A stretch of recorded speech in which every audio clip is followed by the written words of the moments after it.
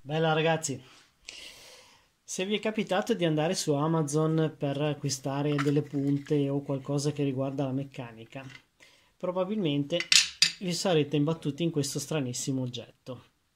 E molti di voi magari sapranno anche di cosa si tratta. Viene fornito con una molla di ricambio, è formato così da due pezzi uniti con del grasso e una molla all'interno e questo oggetto qui serve a risolvere un problema che è veramente tedioso per chi fa meccanica di precisione. E ora andiamo a vedere di cosa si tratta. Ad esempio questo pezzo qui dovrà essere fissato qui sopra e tramite quattro fori ten essere tenuto bloccato tramite quattro barre filettate. Il problema qual è? Il problema è trovare la corretta distanza da questo punto a questo punto dove dobbiamo fare il foro. Ora, in questo caso, anche se andassimo fuori di un millimetro, poi serrando le barre filettate, questo pezzo tenderebbe comunque ad autocentrarsi e avremo comunque un gioco per poterlo spostare e fissare dove vogliamo. Ma cosa dobbiamo fare se invece abbiamo la necessità di fare un foro più preciso? Beh, una delle soluzioni l'abbiamo fatta vedere nel video scorso 255. Possiamo segnare il pezzo con un pennarello a rapida essiccazione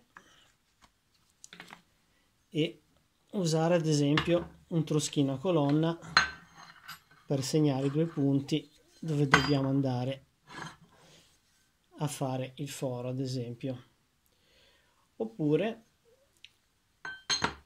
potremo usare un truschino manuale per tracciare delle linee in modo anche più pratico qui poi si andrà a fare un'incisione con il bulino e con un trapano a colonna e si potrà anche qui eh, fare un foro con una precisione abbastanza discreta. Se invece vogliamo utilizzare il nostro strumento, adesso andiamo a vedere come, come e dove si applica. Dimenticavo di dire che ovviamente quelli che vi stiamo facendo vedere non sono tutti i metodi che abbiamo per trovare la distanza da uno spigolo o da un angolo al punto in cui dobbiamo effettuare una lavorazione ne esistono veramente a decine nella meccanica, uno di questi utilizza ad esempio il comparatore, ma è talmente tanto mm, menoso, complesso e lungo da, da applicare, sebbene sia preciso, che non ve lo facciamo neanche vedere.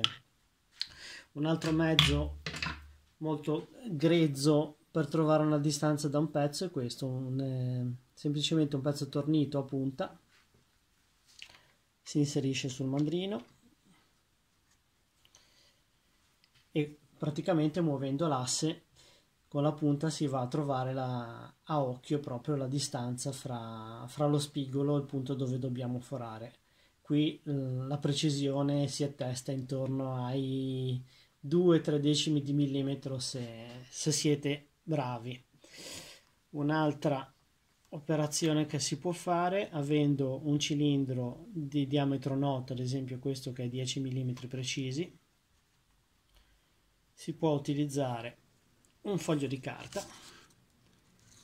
Lo si mette in mezzo fra il pezzo e l'asse e si avvicina lentamente facendo muovere il pezzo di carta in questa maniera fino al punto in cui eccolo qui il pezzo di carta non si, non si muove praticamente più. A questo punto qui la distanza che rimane leggende metropolitane narrano che si tratti di un decimo di millimetro. È comunque abbastanza un metodo abbastanza preciso, ci prende abbastanza anche questo. Andiamo adesso a montare il nostro apparecchio, il nostro strumento che si chiama Edge Finder e vediamo come si utilizza. Ecco il nostro strumento montato e abbiamo cambiato angolazione per farlo vedere meglio.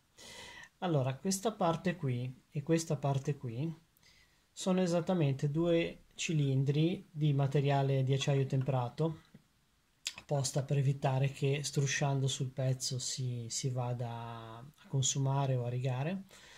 E questo è esattamente di 10 mm e questo è esattamente di 4 mm si può usare indipendentemente o l'uno o l'altro in base al tipo di misura eh, che si vuol fare o, o, a dove ci si infila. A volte capita di dover centrare magari un foro al, all'interno di un altro foro più piccolo quindi si utilizzerà la parte più piccola.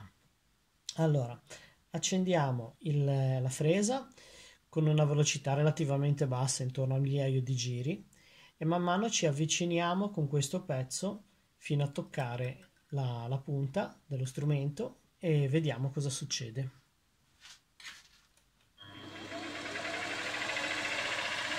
Ovviamente adesso era storto ma non c'è problema, ci avviciniamo, vedete che man mano si va a centrare,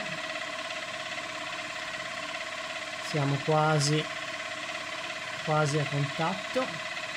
Adesso osservate la parte qui sopra.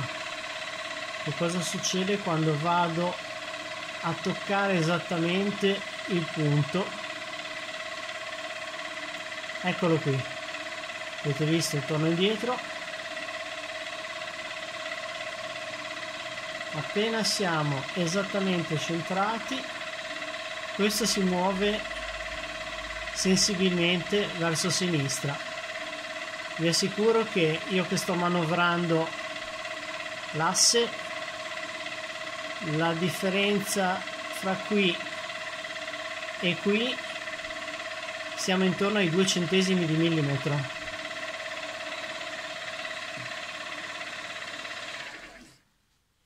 Due centesimi di millimetro che si possono veramente apprezzare a tatto sulla, sulla manetta della, della fresa. A questo punto qui cosa si fa? Niente semplicemente si va a togliere lo strumento si setta lo zero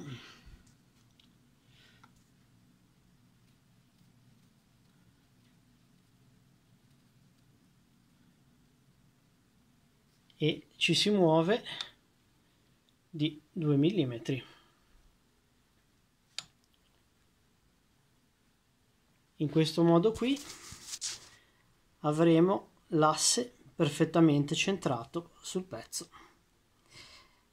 A chi interessasse questo strumento possiamo mettere un link in descrizione. Speriamo che vi sia piaciuto anche questo video.